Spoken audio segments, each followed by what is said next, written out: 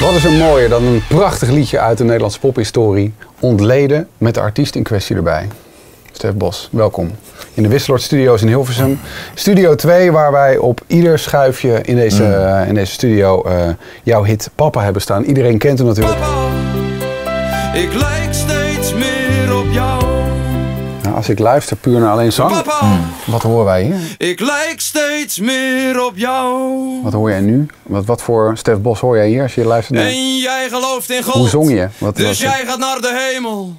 En ik geloof in niks. Dus we komen elkaar na de dood. Na de dood. Nooit meer tegen. Ja, heel technisch, heel gedrukt gezongen. Eh, als ik het nu zing, kan ik het dezelfde intentie aange- aangeven, maar zit er, eh, hoe moet je dat zeggen? Ik was toen eind 20, denk ik. Eh, dan ben je bezig in je leven te worden wie je denkt te moeten zijn. Voor anderen, voor je ouders, voor je meisje, voor het dorp waar je vandaan komt. En nu zit ik hier, eh, ben ik veel gelukkiger dan toen ik daar aan het Ja? zingen was. Ja, en nu dan kun je bezig zijn te worden wie je bent. Weet je, ballast overboord. Ja, maar laat het nog eens horen. Ja, ja, Want ik ja, zing het ook kwaad. Ja, Vroeger kon je streng zijn. En God, ik heb je soms gehaald. ja, ja. Maar jouw woorden. Als ik het nu zingen zou, als ik het nu zou zingen, weet Ja, je, ja, ja. dan, dan eh, is het... Vroeger kon je streng zijn. En God, ik heb jou soms gehad. Maar jouw woorden, ze liggen nu op mijn lippen. En ik praat nu zoals jij vroeger praatte. Die gehaat is niet meer zo belangrijk. Nee. Het is maar mijn woorden liggen nu... Jouw woorden liggen nu op mijn lippen en ik praat nu zoals je vroeger praatte. Om die brug te slaan naar mijn vader toe, om de mededeling te doen, moest ik groot gaan. ja. Anders dan moest ik ook zeggen, ik heb je soms gehaat. Anders kwam die ene zin waar het eigenlijk allemaal over gaat. Die kwam er niet geloofwaardig uit. En dat is papa, ik hou steeds meer van Ja. De rest doet er niet toe. Eigenlijk de rest in die hele tekst is allemaal in dienst van... Daar wordt het doelpunt gescoord. Ja. Papa, ik hou steeds meer van jou. Dan een trompetsolo. Nee, Ja. trompet is het niet. Het is een... Een vlugel of een bugel, ja, dus dit wordt verschillend genoemd. Uh, Vlugelhoorn in het Amerikaans, bugel in het eh, Belgisch. Ja, dat kan me enorm ontroeren. Kijk of het... Hem losluisteren? We Ja. bij elkaar horen. Gaan we alles uitzetten. Alleen maar de...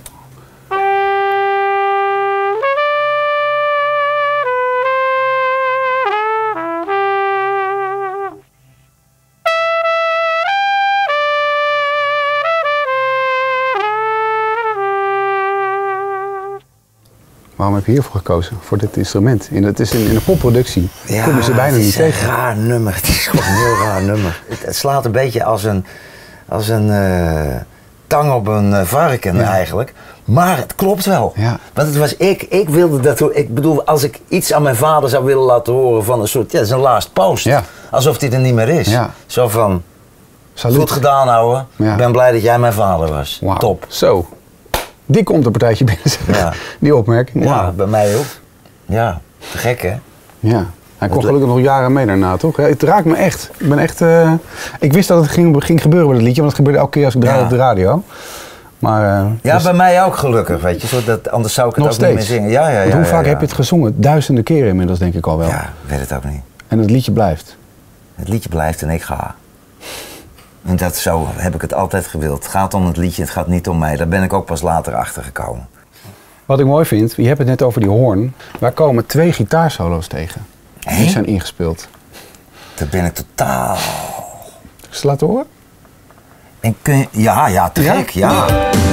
Maar papa, Komt ie aan. ik hou steeds meer van jou. En welke is dat? Is die... die.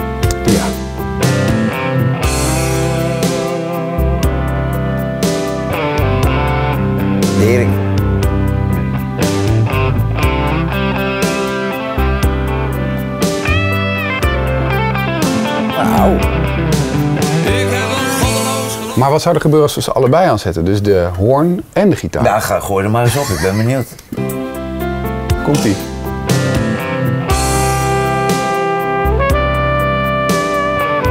Ja, dit, dit, dit is het wel hoor. Was, Ja, is te gek. had, had je met terugwerkende kracht? Ja, dat is te gek, man.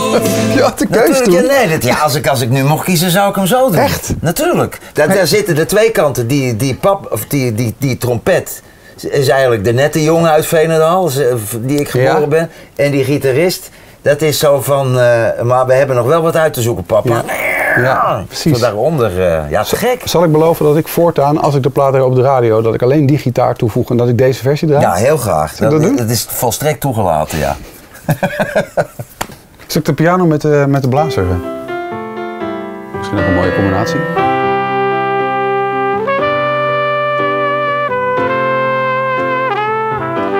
Nou heeft het wel klasse. Ja.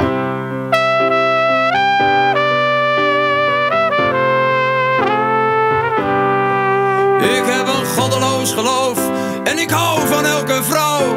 En misschien ben ik geworden wat jij helemaal niet ik lijk steeds meer op jou.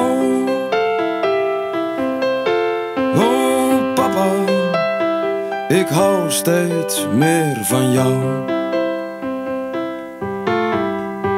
Papa, ik lijk steeds meer op jou. God, dat lijkt wel All You Need Is Love avond, joh. Ja, nou krijg ik Godsamme. het zelf, ja. Mag je zou ook, het is zo'n. eh, de laatste zin is het mooiste eigenlijk. Dat ik daar het allemaal een beetje loslaat. Ja. En het niet zo aan het drukken ben. Zo. Want het is mooi om het zo te horen. Omdat dat, je- voelt wel dat die stem wordt enorm gedrukt door die drums en zo. Weet je? En, maar als je dat stukje wordt alleen piano en die bugel. Dat moet ik eens een keer gaan doen. Nog één keer? Ja, ja dat, daar eh, gebeurt er wel iets. Oh papa, ik hou steeds meer van jou. Ik zie een met jou gaan. Ik ga Ja. mezelf ook prikken. Mag ik je bedanken voor een waanzinnige classic track. Stef. Mag ik knuffel? Super. Nee, jij heel erg bedankt. Echt het is soms heel goed om jezelf van vroeger te ontmoeten. Dan Ja. weet je waar je nu bent. Wauw. Thanks. Dankjewel. NPO Radio 2.